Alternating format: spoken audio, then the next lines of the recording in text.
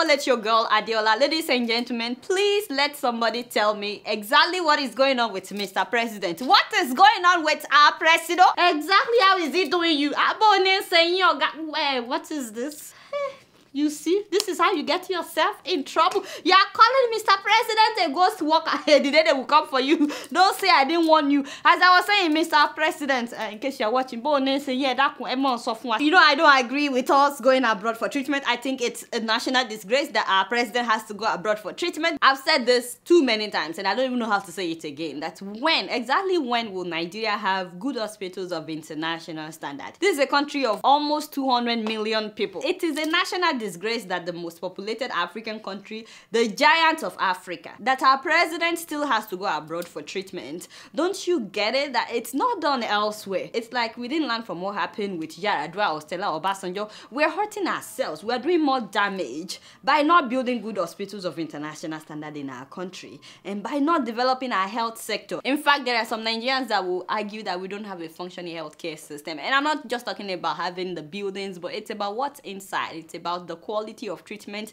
that people can get inside. Do we have the necessary gadgets? Do we have the necessary equipment? Even gloves. I've heard about medical personnel stealing gloves and going to sell it outside. I mean, it's so ridiculous. I wish Buhari quick recovery, but it's important for him to carry us along about his health. And speaking of national disgrace, did you guys hear that workers at the Nigerian embassy in Washington, D.C. decided to go on a strike? Hey, hey, hey, you see?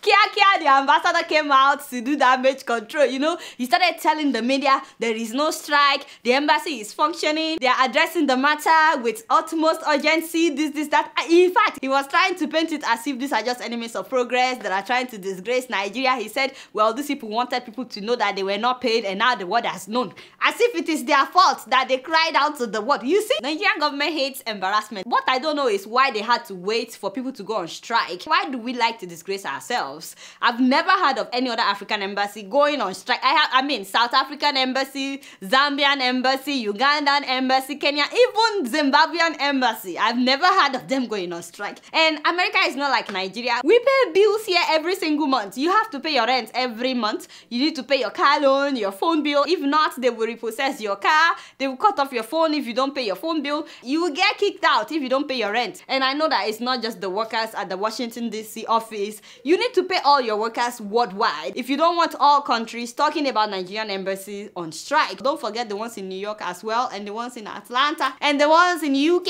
or every part of the world. And speaking of Nigerian embassies, a Nigerian in Malaysia who asked to remain anonymous sent me these pictures of Nigerian embassy in Malaysia. When I saw these pictures, I was like, wow. Apparently the television you are seeing doesn't work. It's just there for decoration. And not only that, this is the only toilet that they have for visitors, for guests. It's just one toilet. So people have to line up outside the toilet. It's the same toilet for men and women and I mean, just imagine this is how our toilet looks. Can you imagine? So not only do they need to pay salaries, but they need to renovate so many of our embassies around the world. It's a disgrace. It's ah, you, you guys, you like to disgrace me too much. And speaking of not paying people, Monday was May Day in Nigeria, Workers' Day, but this year's May Day was different. Ladies and gentlemen, the workers booed the Minister of Labour, Chris Ngige, just as he was giving his speech.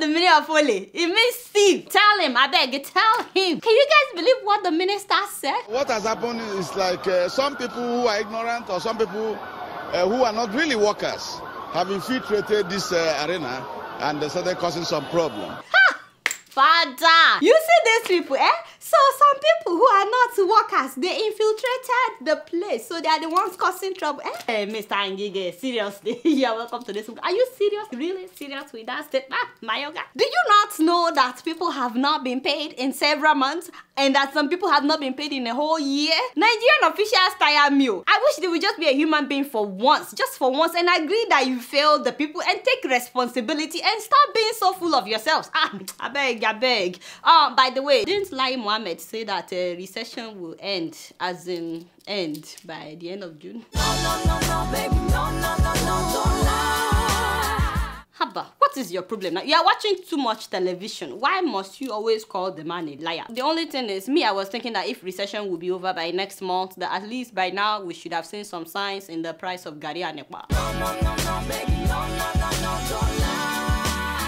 Get out!